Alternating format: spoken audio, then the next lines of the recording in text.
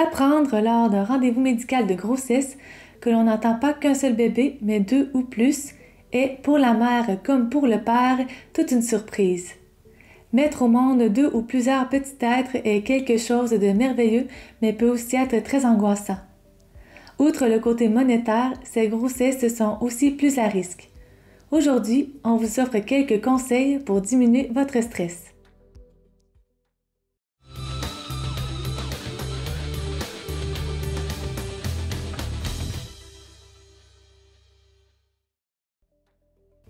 Bonjour tout le monde, bienvenue sur notre chaîne Les Jumelles Mélie Mélo. Euh, moi c'est Mélie pour Mélissa et moi c'est Mélo pour Mélodie. Mélie et moi avons décidé de répondre à une question euh, très importante aujourd'hui. En tant que femme enceinte, euh, que doit-on faire lorsqu'on attend des jumeaux? Évidemment, le processus n'est pas le même que pour un seul enfant. Et bien sûr, chaque grossesse est unique et les besoins peuvent varier d'une femme à l'autre. Alors, dans cette vidéo, nous allons vous partager des conseils pour bien vous préparer et vous éviter euh, du stress avant l'arrivée de vos petits bouts de chou. C'est parti!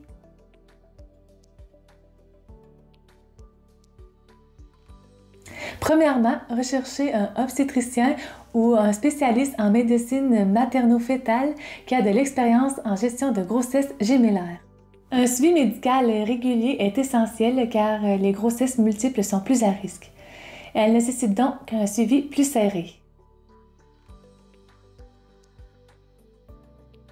Soyez attentive aux signes de fatigue, de douleur ou de malaise. Reposez-vous autant que nécessaire.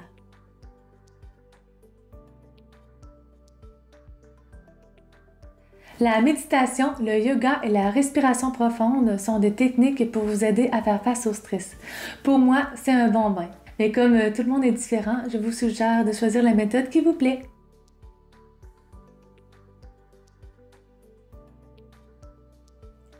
Suivez une alimentation saine et équilibrée.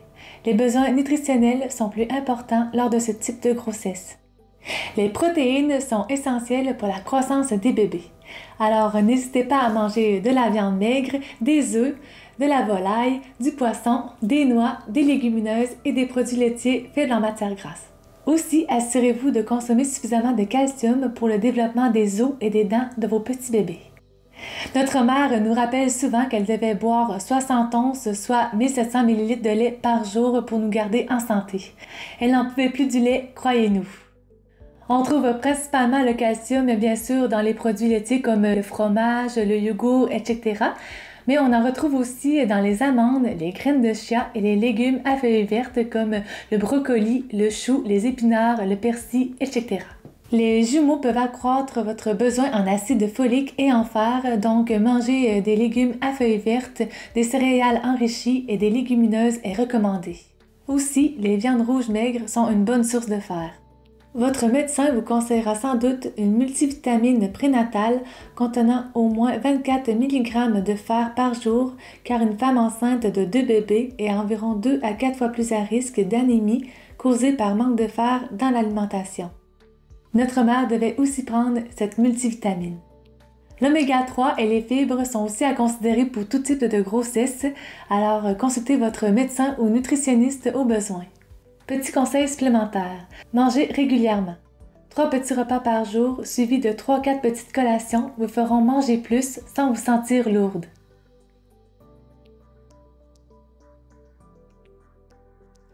Il est normal de prendre du poids durant la grossesse, mais suivez les recommandations de votre médecin pour éviter une prise de poids excessive.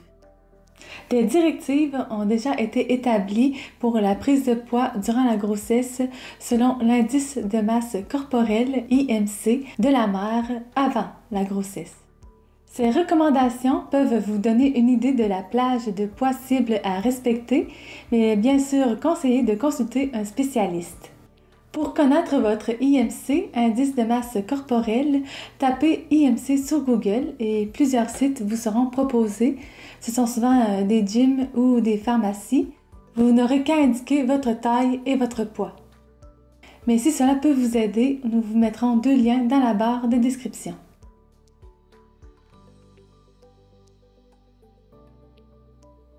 Restez active, mais évitez de faire de l'exercice excessivement intense.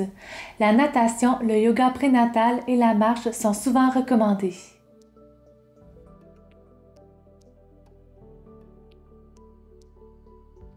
Buvez suffisamment d'eau pour vous hydrater car la déshydratation peut entraîner des contractions prématurées. Petit truc, ayez toujours une bouteille d'eau avec vous pour vous rappeler de boire assez souvent.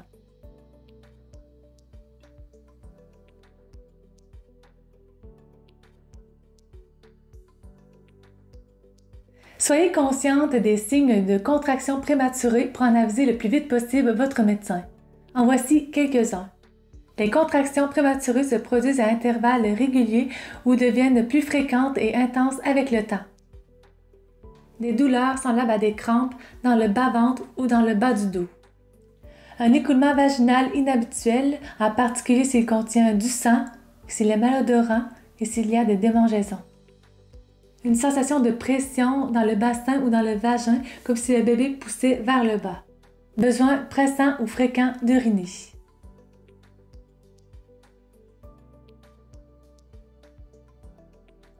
La prééclampsie est un type d'hypertension qui peut survenir après la 20e semaine de grossesse et même après l'accouchement.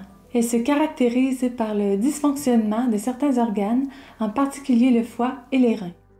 Les symptômes peuvent varier mais peuvent inclure une hypertension artérielle, des protéines dans l'urine, des maux de tête sévères, des problèmes de vision, des nausées et des vomissements, œdème, qui est un gonflement euh, des mains, euh, des pieds, des jambes ou du visage, euh, une douleur à la poitrine ou au ventre et de la difficulté à respirer. Soyez consciente des signes et parlez-en à votre médecin.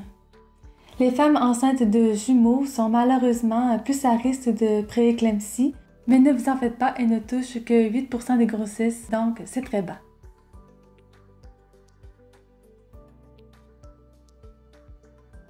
Pour mieux comprendre les particularités d'une grossesse gémellaire, vous pouvez suivre un cours de préparation à la naissance adapté spécialement pour les jumeaux.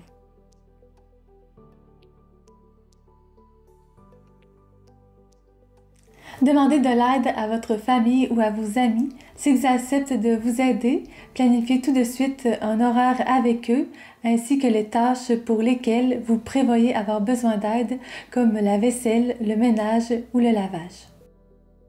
Demandez-leur à eux ou à leur connaissance s'ils n'auraient pas des vêtements, des objets, des jouets, des berceaux à vous donner ou à vous vendre pour pas cher, car avoir deux bébés et plus peut vite coûter cher.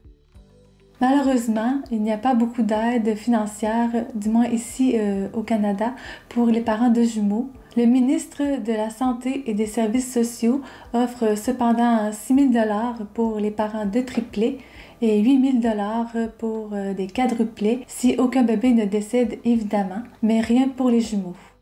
Les CLSC offrent néanmoins de l'aide comme un service d'aide à domicile et peuvent vous diriger vers des centres de périnatalité ou des organismes de relevailles afin de vous aider dans les tâches domestiques et ce, selon vos revenus. Certains commerces, sous preuve de naissance multiples, proposent des rabais aux parents. Renseignez-vous auprès de votre CLSC. Envisagez aussi de rejoindre un groupe de soutien pour parents de jumeaux, ça peut toujours être utile.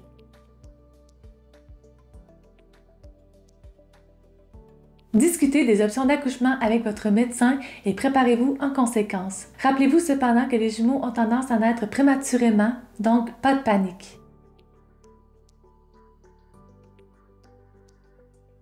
Planifiez, si vous le pouvez, un congé de maternité prolongé car les soins de deux bébés nécessiteront plus de temps.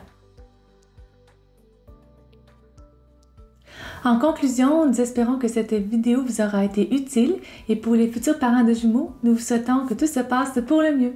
Si vous connaissez des parents de jumeaux, euh, n'hésitez surtout pas à leur offrir de l'aide et du soutien car ils en ont sûrement besoin. Et comme d'habitude, n'oubliez pas le pouce bleu, de vous abonner à la chaîne pour nous soutenir et de nous laisser un commentaire et aussi de nous suivre sur nos réseaux sociaux. On, se voit dans une prochaine vidéo. Bye.